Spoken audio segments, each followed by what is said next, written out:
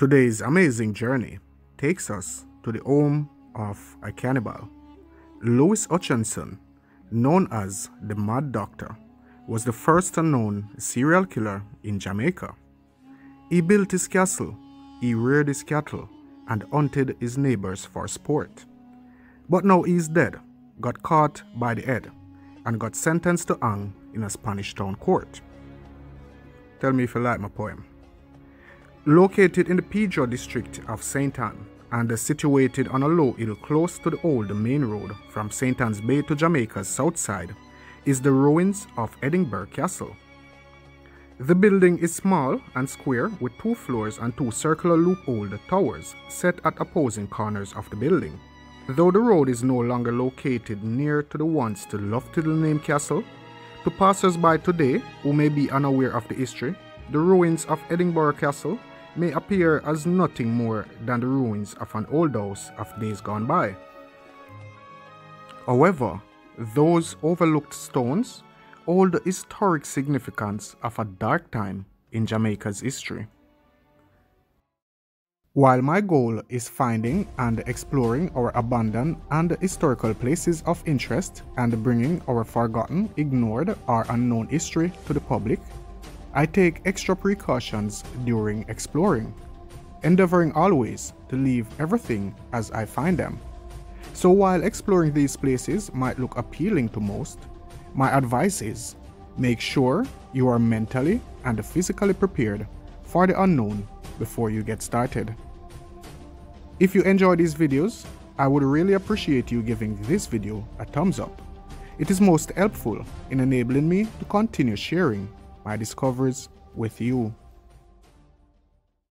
Lewis Hutchinson, the man and architect who built Edinburgh Castle, was said to have been the most feared, hated, and evil man of his day. Hutchinson, better known as the Mad Master of Edinburgh Castle, was born in Scotland in 1733. It is believed that at some point in his life, Hutchinson had studied medicine. He arrived in Jamaica in the 1760s and acquired property at the Pedro district of St. Ann, which he named Edinburgh Castle. Although he is said to have occupied the land legally, his collection of cattle was said to have consisted mostly of strays from neighboring pens. Cattle stealing, however, were the very least of the red-eared Hutchinson's despicable sins. History would later document that not long after Hutchinson's arrival on the island, cases of travelers disappearing without a trace began to surface, and as the numbers of disappeared ones mounted up, suspicions ran wild. During some travelers' long and tiring journey, they would occasionally stop to rest and refresh themselves at Edinburgh Castle. At that time, it was the only inhabited spot for miles around. So, on their way from. Ann's Bay south and totally oblivious to the welcome they were about to receive, those traveling would have seen the only inhabited place along their route as a welcome respite. No one could have suspected, let alone imagined, the horrors and humiliation those missing ones would have ended up enduring. This is the story of what must have been the most evil piece of Jamaica's history. Not sure what that is guys, but there's a, seems like a house. Yeah guys, like a house up on top of the. So, we just come through a whole heap of bush down this But we, like we see the castle, so we're about right?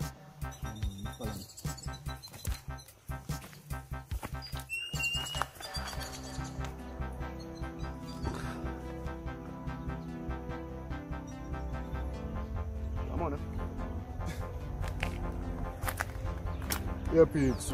Ah, uh, me I struggle through the bush. Me see a man who I walk on a truck and I couldn't find a truck up here. Blessings, oh, Elder. Up here, I get there? Yeah. Tell you. Right, right. Yeah, man. No, let me get no tips yet still until we reach home, no? Yeah.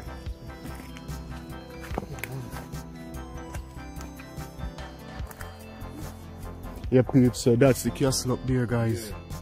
You know, part of our history. You know the history about the castle? or Lewis Hutchinson. the re the first Jamaican serial killer cannibal. Yeah. He used to shoot people from them towers. Yeah. I used to help them when them come in the next morning and I see them. First white man forget hanging in Jamaica also. Yeah. Cause them hanging in Spanish town that try get up on the sea and just him ready here alone. Yeah. Make them spot him, you see it? Yeah man, I was a Scotsman. Uh, him have the same castle in England so him come out here and him have money him come build the castle out Yeah. here, too, it? Yeah. Yeah man. So Some part of history show us the boy. I come here, come here, come capture yourself and one. Yeah. Oh, or him come capture it from other Yeah. people mm-hmm. and do renovations then. Mm-hmm. Okay, okay, okay. Yeah. I mean work up there. Oh, you work up there? Mm-hmm. Farming going up there? No, please up. Oh, oh, because the structure we really have a look on still. Because it's Yeah, educational. you know, the road go right the Okay, respect. right up, you know. Yeah, man. Blessings, man. The gateway down there, so. Yeah. Okay, alright. Give thanks. Yeah. Show for me, pa. alright, so blessings, yeah? Yeah? Yeah, what? Big up. right. Yeah.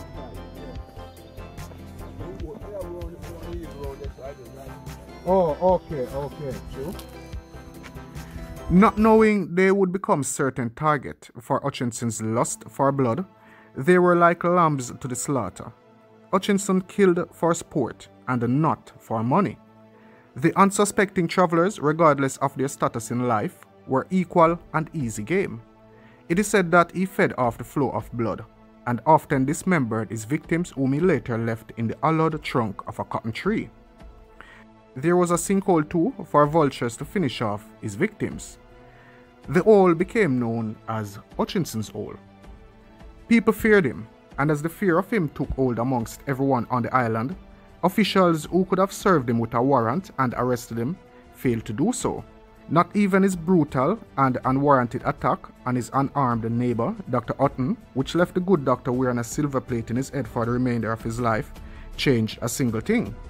Now, Dr. Jonathan Hutton and the English doctor owned the nearby Bonneville plantation with around 60 slaves, 30 male and 30 females, and spent his time between Jamaica and his home in Lincolnshire. The story goes that Hutchinson had a dispute with Dr. Hutton over land boundaries, as Hutchinson felt that Hutton had encroached onto his land, and this angered him greatly.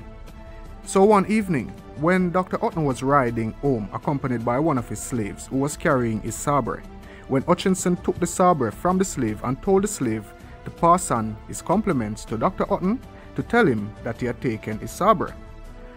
Hutton either ignored or didn't realize what had taken place.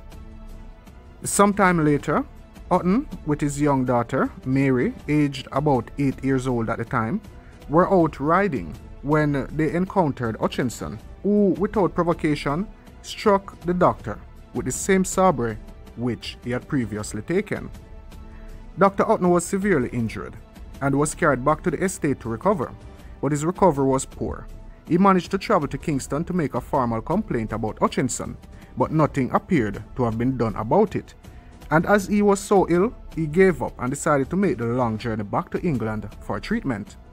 Once there, he had an operation for trepanning. He eventually returned to Jamaica a year or so later and sought to have Hutchinson arrested.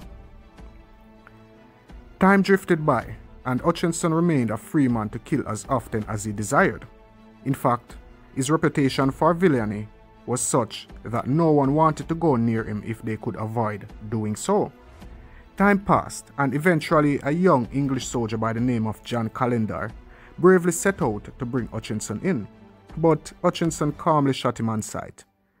There was an instant uproar from the rest of the country when it was found out Hutchinson had killed Calendar. The population cried out for Hutchinson's head, and it was then that government authorized his immediate arrest. Unaware that soldiers would follow after him, he is said to have fled south to Old Harbour, where he set off by sea. But the Royal Navy, commanded by the Venerable Admiral Rodney, was keeping watch, and Hutchinson's speedy flight from the island was soon interrupted. The, increasingly desperate Hutchinson leapt overboard from his boat, but his red ear betrayed him. He was easily spotted. Admiral Rodney was congratulated by Jamaica's House of Assembly for his assistance in apprehending Hutchinson and placing him securely behind bars. Rodney's statue now stands tall in Spanish Town Square. At length, legal proceedings against the Mad Master of Edinburgh Castle commenced. and soon tales of his devilry and debauchery came to light. Hutchinson's slaves added their own accounts of ill treatment and his reputation for evil doing became legendary. As the unimaginable came to light, bit by painful bit, Edinburgh Castle was searched, and clothing said to have belonged to his victims were found there. 43 watches in total were said to have been found, which would give us an estimate of his victims.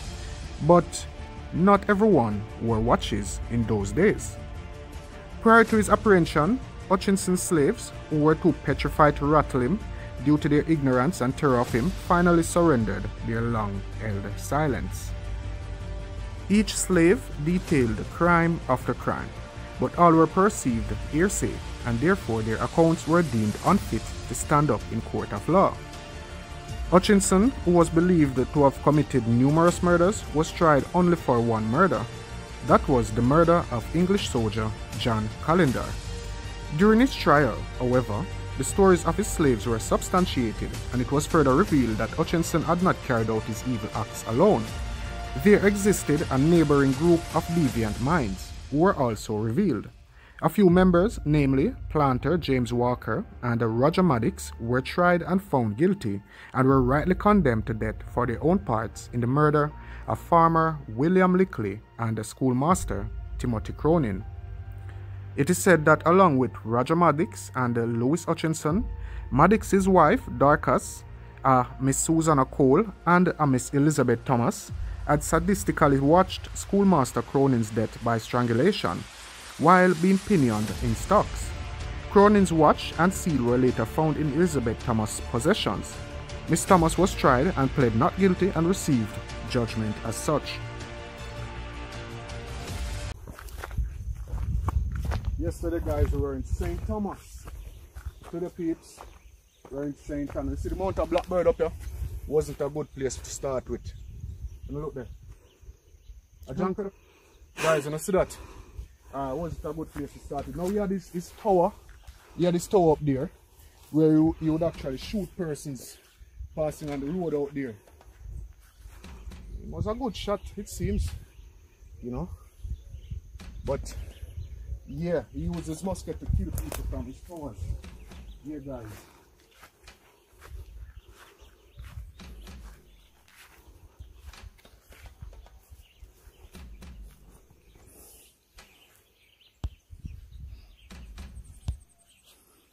Yeah, peeps.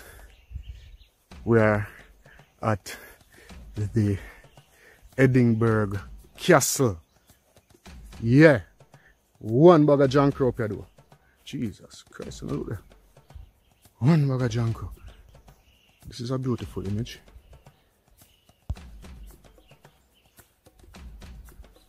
So, Mr. said Mr. Hutchinson wasn't a good person after all. Yeah, peeps, Mr. said Mr. Hutchinson wasn't a good person after all.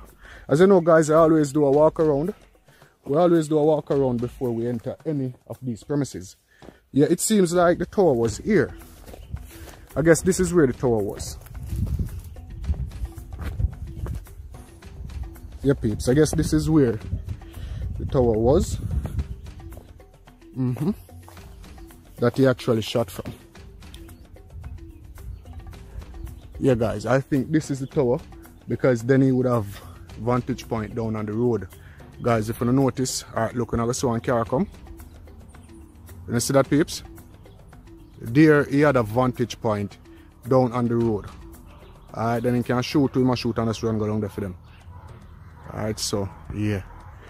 But guys, this is a very interesting feature of St. Ann. We never know so much hill in a St. Ann piece. This is St. Them say St. Flat. But look at this guys. We're all surrounded by hills and mountains. And that's the Edinburgh Castle here guys. As you know guys, me always left the inside for last. Just like, you know when a small and eat your food and you left the meat for last because that's sweet. Yeah, I left the inside for last keep. Me.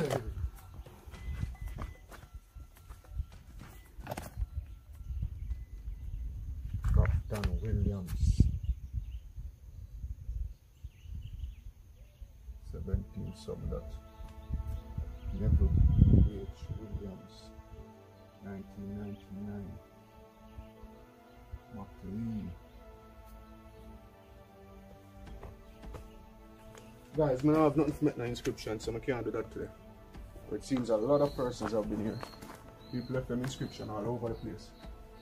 Inscriptions are about Smith. So you see the alright guys, so notice these are indeed lookout points. The ones in the other in the other house in the, in the Stokes Great House, those were for boards to be fitted in slots. Alright, these are lookout points you see all around the building. Alright, that's enough of the building. So guys, this is in the side of the tower. And as you notice, here you have a lookout point right there, you have one right here. Now right here you would have board. You'd have board right here creating the step so that you could go up into the tower, alright? So right there, so maybe you would have go up and then you can see over it. It could be way higher than it is right now also. Alright, so so I'll go to the next side of the tower now. Uh, which one name is Roy something like that. The people not even write good for me can see. This is from 1920, you know. But them people not write good for me can see them name properly and the inscriptions. Yeah guys, this is another part of the as you notice, this went down to you know guys. Alright, this was filled in. This went down also. So this tower don't seem to have had a lookout point a shooting point or anything because the road wasn't around this side guys the road was there. So you know you have mostly a focus on the road who are come towards the building.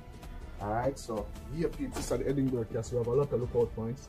So nobody can really attack the place you know? I would love Mr. Hutchinson bell buckle this you and it's a souvenir guys. I'm gonna keep this as a souvenir. Say keep this? Type souvenir in the comment section down below. All right mr piece of iron up this two more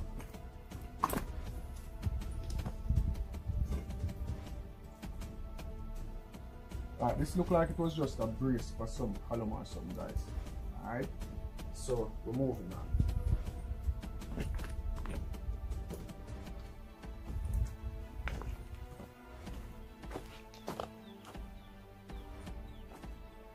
Really interesting features this castle.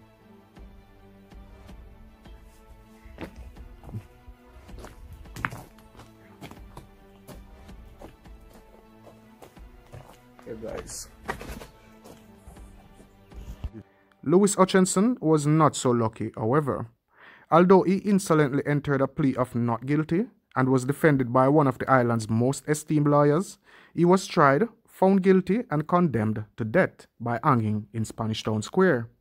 The records of his trial stand in Jamaica's National Archives.